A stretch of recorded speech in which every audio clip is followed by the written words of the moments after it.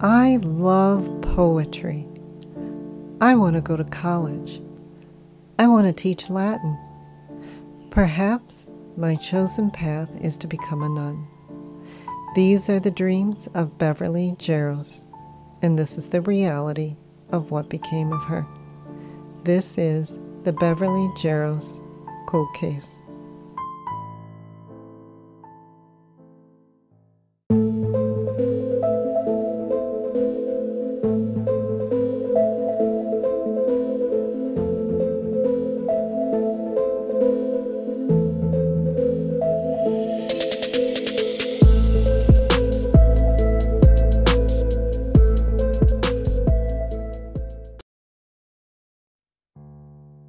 Beverly Jarosz was a beautiful teenage girl from Garfield Heights, Ohio.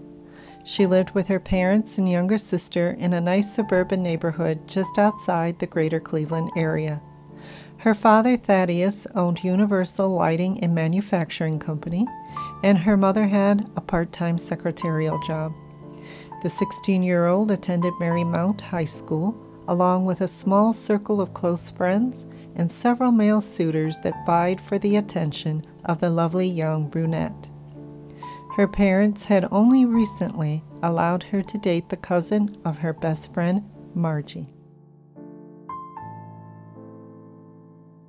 Beverly was very studious and an avid reader.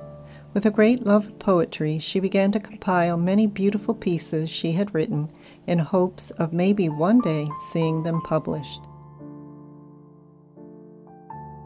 She had just begun to write some of her poetry in a leather bound journal that she received from her father that Christmas of 1964, a journal whose pages would never be completely filled, pages that would never see the poetic words of its talented young writer.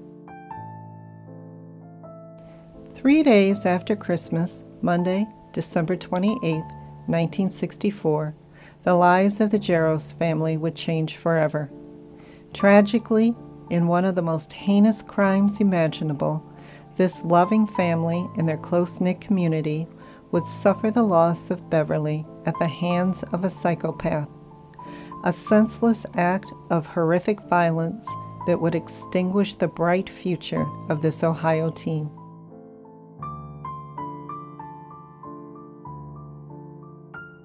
Beverly's story begins the summer of 64 the family started to receive hang up calls.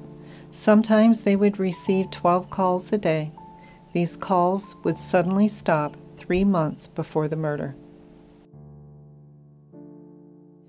There were other strange occurrences that year that would set the family's nerves on edge.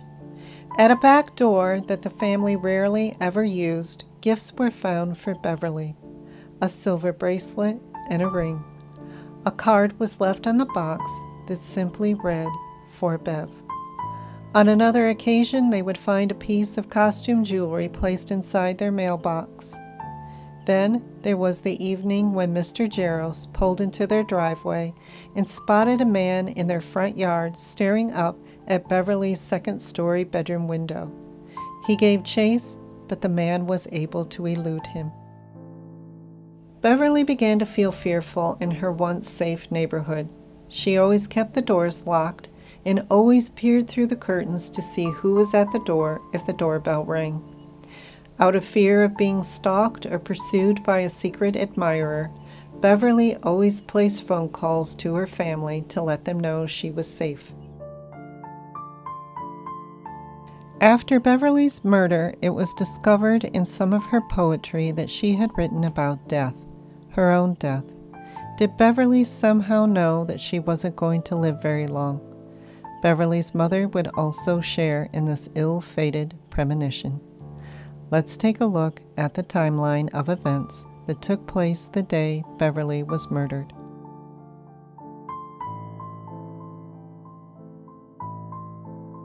Beverly's mother, Eleanor, remembers having an uncomfortable feeling as everyone gathered around the table that morning for breakfast. The feeling only a mother feels when she knows her child is in danger. For Eleanor, keeping that premonition at bay was difficult. She never said anything to her daughter, and the weight of that decision she would carry with her forever.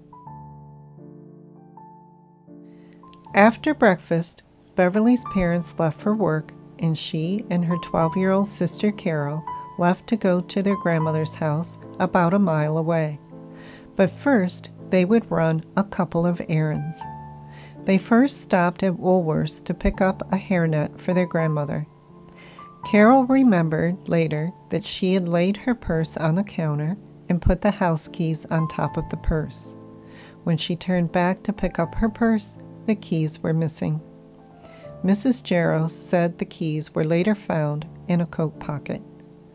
What happened to the keys and their relevance to this case remains a mystery. The girls left Woolworth's and went to Huff's Bakery to pick up a loaf of bread before continuing on to their grandmother's. Upon arriving at their grandmother's house, Beverly places some phone calls. At 11 a.m., Beverly calls her friend Barbara to discuss their plans for the day. At 11:30 a.m., Beverly calls her best friend Margie and tells her that she and Barbara will be over between 1 and 2 p.m. At 12:15 p.m., Beverly's grandmother calls her neighbor and asks if her 18 year old son could drive Beverly home so she could spend the afternoon with her friends. After returning home from a job interview, the 18 year old young man changes clothes and runs Beverly home. Beverly is dropped off in the driveway of her home and goes inside. This is the last time anyone saw Beverly alive.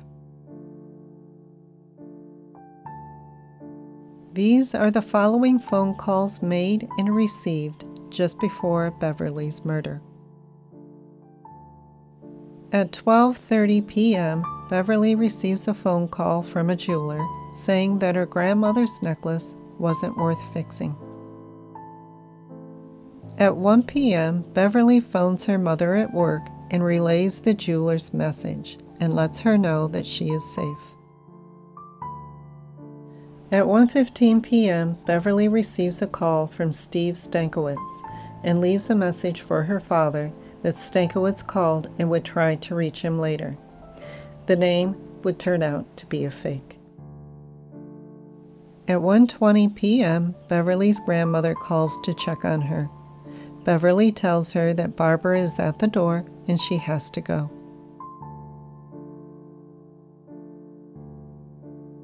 At 1:25 p.m., Barbara arrives and rings the doorbell at the side door about 10 times. She sees that the screen door is locked, but the main door is open.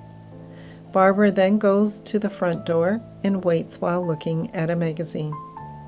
She can hear a radio upstairs playing loudly. She then hears what sounds like furniture being moved, and then a thump, like a dresser being knocked over. Barbara starts to think Beverly is standing her up or playing a joke and decides to leave. A friend picks Barbara up at the corner and drives her home. Police would later verify these facts. This next set of phone calls were made before Beverly was found murdered. 2 p.m., Barbara calls Beverly but doesn't get an answer. At 2:45 p.m., Margie calls Barbara and asks where the two girls were. At 3:45 p.m., Margie calls Beverly's grandmother and asks about Beverly. At 4 p.m., Carol calls home but doesn't get an answer, so their grandmother calls Mr. Jarosz at work and said that she was alarmed because they couldn't get a hold of Beverly.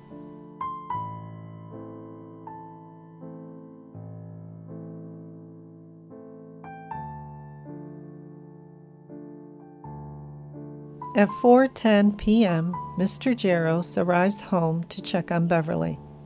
He can hear the loud radio from the driveway He finds the back door that they rarely use open at a 45 degree angle. The two side doors were both open at a 90 degree angle. Now alarmed because he knows Beverly always locks all the doors, he runs upstairs and finds her murdered.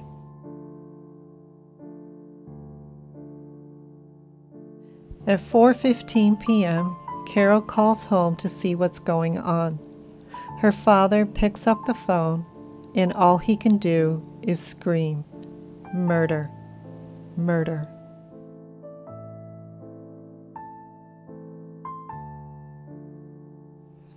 Upon arriving at the scene, Garfield Heights police would have to quickly rein in their emotions in order to track down this brutal and violent killer.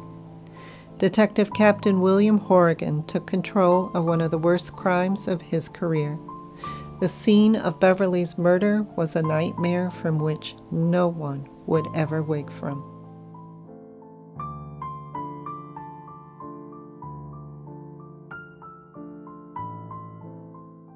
Beverly's trussed up, lifeless body lay face down on the floor beside her bed. Her body had been bound with rope at the neck and ankles. The five foot eight, 118 pound teen was covered in blood. Her blouse, penetrated by a four to five inch blade, had been pulled up and her bra was ripped. Her stretch pants had been pulled down, leaving her partially nude. Beverly has sustained over 42 stab wounds most of the wounds were two inches deep, with the most serious ones found on her neck and face. The other slashes were found on her chest, back, and hands. Twelve of the cuts on Beverly's hands were probably from trying to fend off her attacker. Nine stab wounds were found going down the center of her back from her neck to her waist. No DNA found under her nails, so the killer would have no scratch marks. Police found three short lengths of rope at the scene. One short strand was found between Beverly's fingers that was slashed from the longer one that had been pulled taut about her neck and draped across her body. The other one was used to bind her ankles. There was no sexual assault. Cause of death was listed as strangulation but the coroner said her stab wounds were also fatal. The time of death was given anywhere from 1 to 2:30 p.m.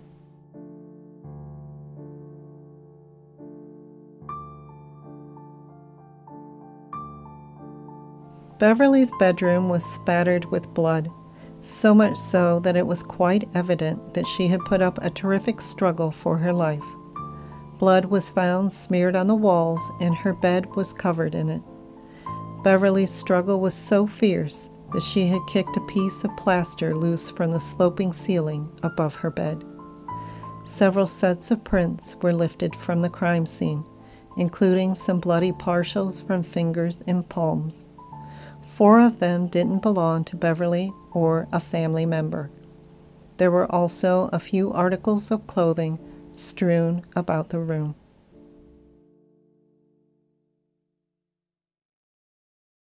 Savage doesn't begin to describe the murder of Beverly Jarosz. Who would want to do this to this bright and beautiful young girl with so much ahead of her? Many of the girl's suitors had been questioned and some even submitted to a lie detector test. The usual suspects were rounded up some with prior records, some who committed violent acts against women, and some known for stabbing. Most of these suspects were cleared, and some just went into the inconclusive pile. But there was one suspect that looked like the most promising lead the police would ever have. The suspect was 17 year old Harry Joseph Maydell, an encyclopedia salesman at the time of the murder. Maydell had moved from Michigan to just a mile and a half from the Jarosz home three months before the murder. Before he became a door to door salesman, he worked at Halle's department store and may have come into contact with Beverly as this was one of her favorite places to shop. Maydell had a long record of violent behavior beginning at the age of two. He was accused of breaking and entering at the age of nine. At 16, he raped his stepmother, threatened to kill his two half siblings, and attacked three women by knife point. He came up on the police radar after he was arrested for stabbing a pregnant housewife, Gerda Leedy.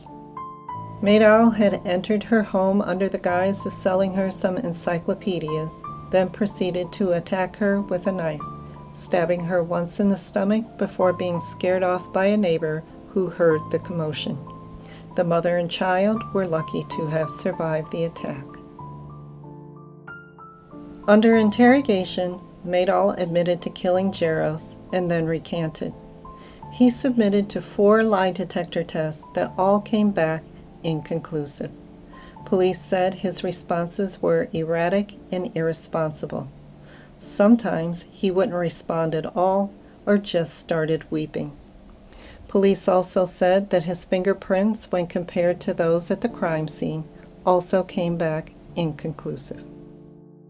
Details that Maydell gave about Beverly's murder did not match up to actual events, and the knife that he used to stab Mrs. Leedy was smaller than the one used in Beverly's murder. Maydell was never charged in Beverly's murder. His last known residence was somewhere in Germany. Over the years, the facts in this case were just as confusing and baffling as the murder itself. Let's take a look at some of those facts now. Fact number one Beverly always locked the doors, so whoever murdered her, she must have recognized and let them in because there were no signs of forced entry. Fact number two the message that Beverly took for her father from Steve Stankiewicz was found by the kitchen phone. It read Steve Stankiewicz called. We'll call back later. The words called and later were underlined. The only Steve Stankiewicz the name could be traced back to was a 17 year old that had moved out of the country a year prior to the murder. Handwriting experts said that the message was written under heavy pressure and anxiety. Fact number three Maydell was known to use aliases over the years. But even if he was the one who called using Stankiewicz's name to see if Beverly was home, how would he know that she was alone? If the call came in at 1:15, how could he have had time to walk a mile and a half in less than 10 minutes to Beverly's house? Because Barbara arrived at 1:25. And from her statement of hearing noises and loud music, we can assume the killer was already inside before she arrived. Fact number four Maydell wasn't living in Ohio when Beverly started receiving hang up calls and jewelry. Fact number five When Maydell was arrested in January for stabbing Mrs. Leedy, he had three healing cuts two on his face and one on his wrist. He also didn't have an alibi for the day of Beverly's murder. Fact number six Detective Captain Horrigan focused on Beverly's boyfriend Roger. Roger's first lie detector test was inconclusive, and then he passed his second. Until Horrigan retired, he would call Roger every year on the anniversary of Beverly's murder to give an update on the case. Fact number seven Pathologists theorized whoever killed Beverly would have left the scene with smears of her blood on them, plaster from the ceiling, pieces of her hair and flesh, along with threads from the struggle. How did the killer flee when covered in all that evidence and no one noticed in a neighborhood where homes are so close together? Fact number eight the rope used to strangle Beverly was an old weathered window sash. Police were unable to match it to anyone in the area. Fact number nine. Seven years after the murder, someone broke into the Jarosz home, and stole a gold watch and the backing from two of Beverly's favorite prints that her father had framed for her. Fact number 10 Police were never able to determine if Beverly was murdered by a male or a female. Fact number 11 Perhaps the most puzzling of this case is that the only thing missing from the murder scene was Beverly's diary. Is there a possibility the diary contained a secret worth killing for? Who knew Beverly kept a diary and where it could be found? It's been 58 years since Beverly's murder. 1,000 people showed up to say their goodbyes to this beautiful young girl with a brilliant future ahead of her. Her family sat in a state of disbelief during her service at St. Therese Church and wept at her graveside along with family, friends, and investigators. Beverly will never be forgotten. Retired lead detective William Horrigan, who passed away in 2004 at the age of 93, continued to check out leads right up until the day he died. He believed he knew who the killer was, but didn't have enough evidence to bring them to justice.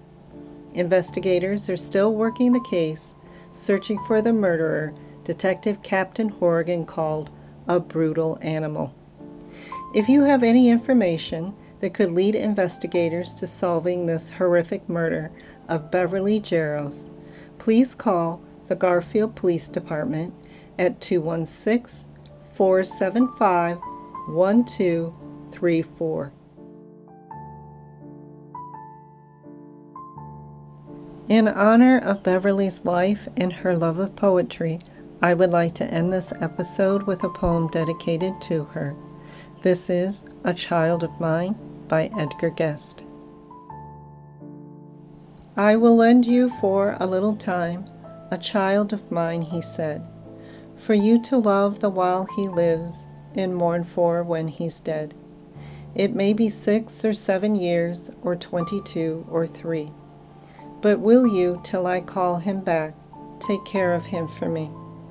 He'll bring his charms to gladden you, and should his stay be brief, you'll have his lovely memories as solace for your grief. I cannot promise he will stay, since all from earth return. But there are lessons taught down there I want this child to learn. I've looked the wide world over in search for teachers true. And from the throngs that crowd life's lanes, I have selected you. Now will you give him all your love, nor think the labor vain, nor hate me when I come to take him home again. I fancied that I heard them say, Dear Lord, thy will be done. For all the joys thy child shall bring, the risk of grief will run. We'll shelter him with tenderness, we'll love him while we may and for the happiness we've known, forever grateful stay. But should the angels call for him, much sooner than we've planned, we'll brave the bitter grief that comes and try to understand. Thank you for joining me today. Please take care and be safe.